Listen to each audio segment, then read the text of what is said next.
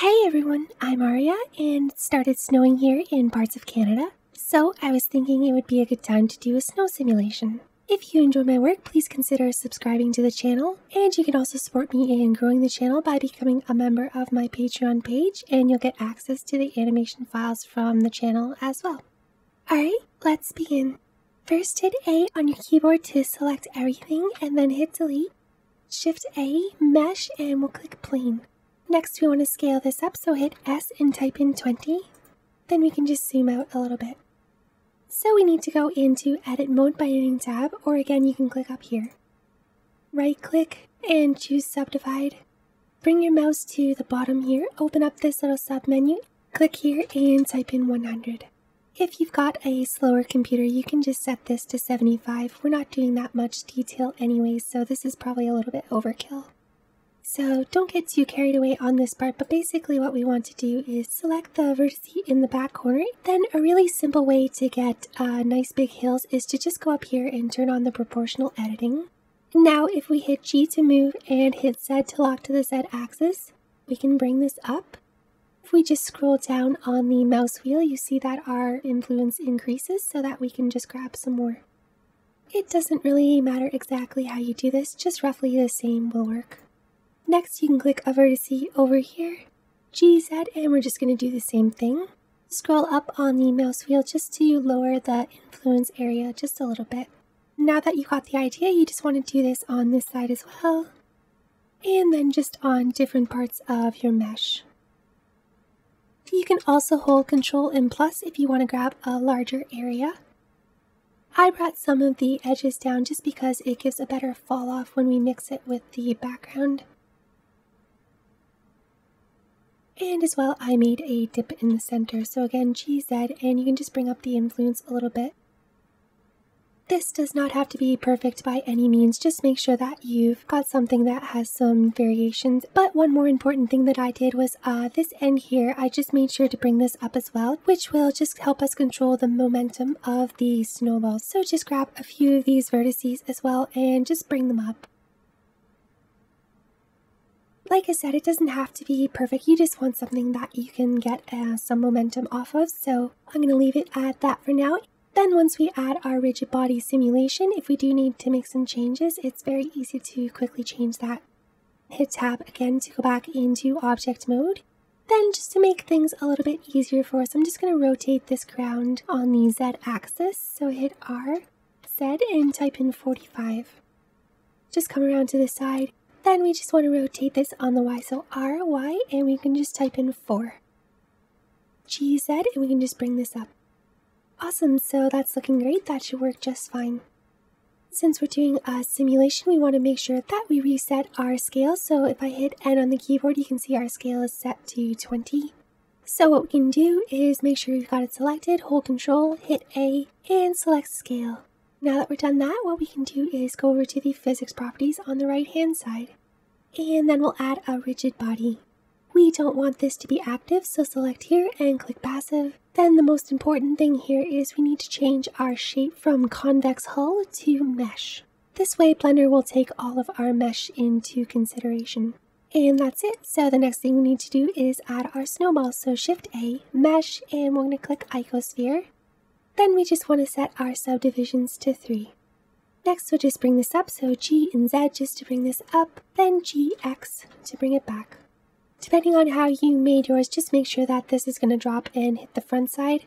Otherwise, it could fall off one of the edges here. So now we're going to scale this, so S and type in 1.2. Then right click and shade smooth. Great, so back over to the physics properties, click rigid body and we're going to leave this as active Again, we want to change this shape to mesh. It's always a good idea to save before you run your simulations. Click down here to head back to frame 1 and hit play. You could just let your snowball fall off the edge, but we want ours to stay in the middle, so what we'll do is head back to frame 1, click on our mesh, and we'll hit tab. Then again, we just want to take some of these edges here and hit G just to bring them up just so that if our snowball makes it this far, it'll start to roll back. And you can also just bring the center down as well. Like that. Okay, so hit tab to go back into object mode. back to frame one and you can hit play again. Great, so that's working now. You can see that it ends a bit short, so I'm just going to increase the animation length to 500, just so that there's a bit more to work with. We also need to increase the rigid body cache size. So over on the right hand side, you can click the scene properties, which is where you'll find the rigid body settings. So click here. Then open up the cache settings and we're going to set this to 500. Save and then if we go back to frame one and hit play, you'll see that our simulation has a lot more to work with. So that's pretty much it for the rigid body. If you do want to add a secondary snowball, what you can do is just click this one, hold shift, hit D, then we'll just hit Y just so we can bring it over a little bit. Also want to bring this forward just so that it's falling down the front and not the backside. Now if we hit play, you'll see that we've got the exact same thing happening, but they're taking different pathways. Now that we've got everything and we're happy with our rigid body, we can bake our simulation and this should only take a few seconds. Great, so now you can just scroll through if you want and just see your whole simulation. Make sure to save as well, and now we can move on to our dynamic paint. So just select the plane, then we're going to duplicate this, so Shift D, and we'll just hit Z just to lock to the Z only. Then you can type in something like 0.8 just so that we bring this up enough that our snowballs can go through, but they don't want to sink into it. Next, head over to the physics properties again. Since we have a rigid body underneath, we do not need to have this, and it won't work correctly if we leave it on, so just make sure that you remove the rigid body by clicking here. Then click Dynamic Paint, and since we want this to be displaced, we're going to leave this as Canvas, and click Add Canvas. Everything can be left to default except for the surface type. We want to change that to displace. Now we can click on our snowballs. For these, we do want to leave on the rigid body, but we're also going to add a dynamic paint, then change the type to brush, and then click add brush. So let's click the next one here. Leave the rigid body on, click dynamic paint, select the type to brush, and add brush. I always like to save before moving on, so save, head back to frame 1 and hit play. Awesome, so that's looking pretty good. They're a little bit on the same path, so what I'm going to do is head back to frame 1. And I'm just going to grab this one and just move it over a bit. And bring this one a little bit forward as well. Then you'll see if I hit play, it kind of jumps. And the reason that's happening is because we've already baked our rigid body. So what you can do is just head back to the scene properties. Delete your bake just reset the speed, for example, which will just cause Blender to recalculate things. So if I hit play now, you can see that it is working correctly, but our dynamic paint isn't. So we can just do the same thing, head over to the dynamic paint properties. Then we can just remove the canvas, add it again, and select displace. And now you see that it's working a lot better and things are looking really good. So you can see that they kind of started simulating together. So just a couple things to keep in mind. If you were to go to the rigid body and bake at this point, you're going to find issues with your dynamic paint. And the reason why is because if we don't go to frame one, it will start baking the rigid body, but it won't know where to start the dynamic paint. So the best thing to do is always make sure that you're on frame one when you bake as well. So we're good with both of our simulations. So I'm just going to hit bake and you can see that this says bake physics, which is going to bake our dynamic paint right along with it. Once that's complete, make sure to save and you can hit play. And now you'll see that everything is working correctly and if we were to scroll through, there's no issues at all. Our simulation is complete. The only other things that we have to do is add materials and lighting. So you can see that there's a bit of uh, ridges happening here. So the best thing to do is head over to the modifiers properties, click here and add a subdivision surface. Then I wouldn't set this to more than one or two, just because it will slow down your simulation. You can see there's still a little bit left, so if you do set this to two, it will completely remove that, but this will cost you a little bit of performance, so just keep that in mind zoom out a bit and you can see that we've got our other ground plane here which we no longer need to see. So head up to the right here and we're going to click our filter toggles. The middle one will be kept on, but the visibility will be turned off in both the viewport and the render. This will keep it active as part of our simulation. We can already move on to setting up our lighting and materials. So click over here to go to the world properties. Then instead of having a color, we're going to click this dot and click environment texture. Next, click open.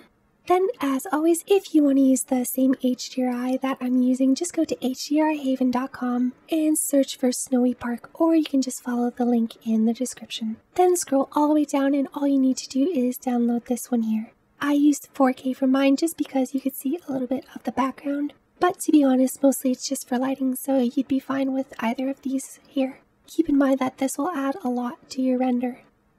Pick your version and click open. Then, since we're adding materials, we're just to head over to the shading tab. So let's go up to the top and click shading. Zoom out a bit and now we can turn on our render preview. So you can see that we've got super basic lighting. If we just leave it like this, we won't be able to see any of our textures. So let's add a light by hitting Shift A and going to light and clicking sun. When you use a sun in Blender, you don't have to worry about the position, but my personal preference is to move it into roughly the place that it would be, just because I get a better visual representation that way. So let's rotate this by hitting R and X. Then we can just drag our mouse until we've got a little bit of shadow. Then depending on which way you want your sun to be facing, you can hit R and Z and just drag this a little bit. And that's good, like I said, this is all just preference, so you can face this any way you want. The reason I chose this angle is just because it gives us some nice shadow. And I also found that this worked out great for the lighting in the end. Next, you can click on the ground plane, click new. This texture is different, but I did get some great ideas from a different YouTube artist, so I'm going to throw the link in the description and make sure to check out that video. So first, Shift A, and then we'll search for bump, then we want to duplicate this, so Shift D to duplicate and do that one more time as well. Then we want to take the normal and hook it up to the normal for each of these, so normal to normal again and normal to normal. I'm going to set the strength of these now just because I know what my settings are, but this basically will just give you more or less bump. So feel free to divert from any of these values here. Next we'll add our first texture, so Shift A again and type in noise. Select noise texture and we'll hook the factor into the height. We want to make this pretty small so we're going to change the scale to 500 and the detail to 5. Finally we'll add some distortion so type in 8.3 for that. I'm not sure if you're able to see it uh, through the video but if you zoom in really close you should be able to see some texture. Next, we're going to add two color ramps. So shift A and type in color ramp. Hook the color into the roughness. Then we'll select it, hit shift E, and just bring this up. Then hook this into the base color. So our next texture is going to be a Voronoi. So type in VOR and select this texture. And we'll use two of these. So shift D and we'll just bring this down. Now we can grab the distance from our bottom Voronoi. Then hook it into the height of the second bump map. So the one in the middle and set the scale to 250. Now you should definitely be able to see some textures. Let's change the scale of our other Voronoi to 50. Switch this to F2 and change this to Manhattan, which will just give us a little bit nicer look. Now we can change the scale of our first Voronoi to 50. Then we do want to mix these together, so Shift A, search, and we'll search for Mix RGB. Then distance into color and distance into color 2. Take the color output from the mix, then hook it into both of the color ramps. So finally, you can see that we're starting to get our effect here, but it still looks a little bit weird. So we're just going to make a few more changes. You can go to this bottom color ramp and just drag this value all the way over to about 0.67. Then on our top color ramp here, we're going to just select this value and bring it over to about 0.7 and this value over to about 0.05. Click here and we want to turn this into a blue color. And that's it for our textures. So what we can do now is choose one of our snowballs. And instead of clicking new, we're just going to click here and select material. But if I zoom in, you can see that it's a little bit too small. It's not really giving the effect that we want. So I'm going to click here to copy. Make sure to do this so that you're making changes to a new texture instead of the hill texture. Then I'm just going to change a couple of values. So I'm just going to spread this color ramp out again then we'll just make a couple of changes to our noise pattern. So scale here, we're going to set this to 24. Head down to our noise texture and we're going to set the scale to 5 and set the distortion to 0. Finally, I just want to add a little bit more bump to this here, so set this to 0.5. And that's looking really good, so that's looking a little bit more like a snowball now. Now that we've got that, we can click on our second snowball, click here, and select Material 1. That's it for our materials. So now what we can do is just increase our lighting. So click the light, head over to the light properties, and we're going to set the strength to 10. And we also want to give it a little bit of a blue tint. So just ever so slightly add some blue to that as well. Save, and that's looking really good. So now that we're done our textures, let's head back to the layout tab. And we can turn on our render preview if you like. Great, so things are looking really good, so we're just going to finish the scene. So let's head over to the render properties. For this animation, we're going to be using Eevee. So let's turn on ambient occlusion, bloom. This is way too strong, so let's just bring this way down to something like 0.005. Scroll down and we can add screen space reflections and refractions. Because we're doing that, we do want to make sure that they're activated in our materials, so click the plane, head over to the materials properties and head all the way down and make sure to select screen space refractions. Then we'll do the same with the snowball as well. Click it and screen space refractions. Then save. Now you can see our lighting is looking a lot better. Head back to the render properties. All the way at the bottom, you'll see the film property here. Open that up and uncheck transparent if you want to use this as part of your background. Next, we just want to add some more of these hills, so we can click our plane and Shift D, then hit Y, and we can just drag it over for a second zoom out a little bit. And since this isn't going to be part of the physics simulations, let's just head over to the physics properties and remove dynamic paint. GZ just to bring this down, and I'm going to scale this, so S to scale. Just bring this back, GX. This will just really depend on what you want your scene to look like, but this should roughly work. You can just rotate this a little bit on the Y, so R and Y. Then let's duplicate this one more time by hitting Shift D, Shift Z, and we'll just bring this over. Then we can rotate, so R and Z, and just swing this around. Something like that should work just fine for now. Since I had my camera set up sort of following this line here, I made sure to just stay focused on this side of the simulation. So that's it, this is how simple a background can be. My snow had a lot of glints in the background, so the way I achieved that was just using depth of field. So Shift A and go to camera, then you can hold Control Alt and hit zero on your numpad. And that should be fine for now. So what we can do is make sure that you got your camera selected and head to the camera properties. Then we want to turn on depth of field and you can see already that we're starting to get some of the glinting snow.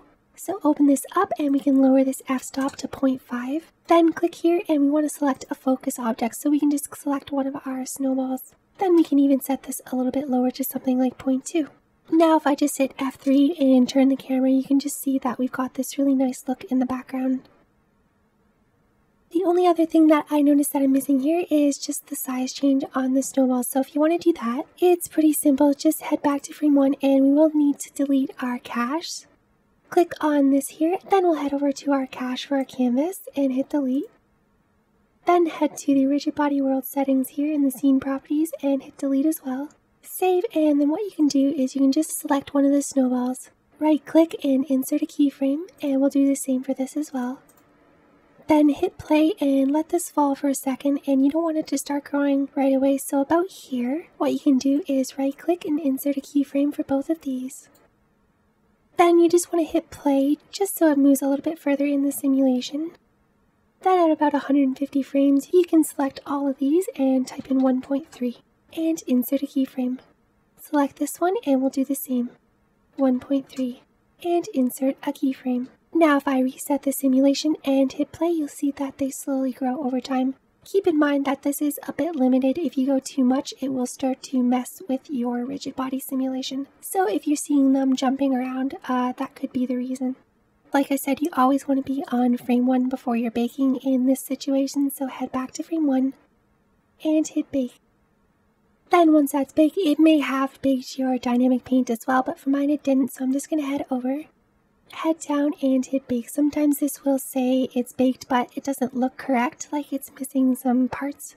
So if that's the case, just hit delete and bake again. I always like to reset one of my values just so Blender recalculates correctly. Then just one more thing, if we bake right now, it'll be a little bit slow. So just head over to the modifier properties and you want to turn the subdivision off. Then head back to the physics, head down and hit bake. And this will bake about 10 times as quickly. Then just head back to the modifiers and turn this back on. And everything is looking great, so I'm just going to set up the camera one more time.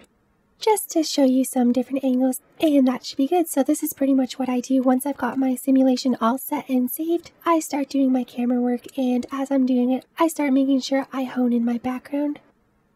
Just go into the camera settings and you can switch this to the other snowball. Then finally we can head over to the rendering tab.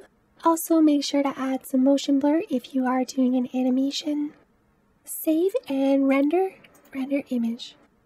And there it is. You can see that that took a little bit uh, longer to render. And I think the reason is because our depth of field is a little bit high. So let's just change it to something like 0.4 or 5. Head back and you can render again. And you'll see that that cut the render time uh, by about 60%. So keep that in mind when you are adding stuff like motion blur and depth of field. The more you add, the longer it will take to render. So if you are finding that your render is a bit slow, you could even set this higher if you want. If you enjoyed this tutorial, again, please subscribe to the channel and support my work. As well, if you want to get access to the files that I post every Thursday, you can sign up to become a member of my Patreon page to get access to all the animation files from the channel. I'll see you soon. Bye!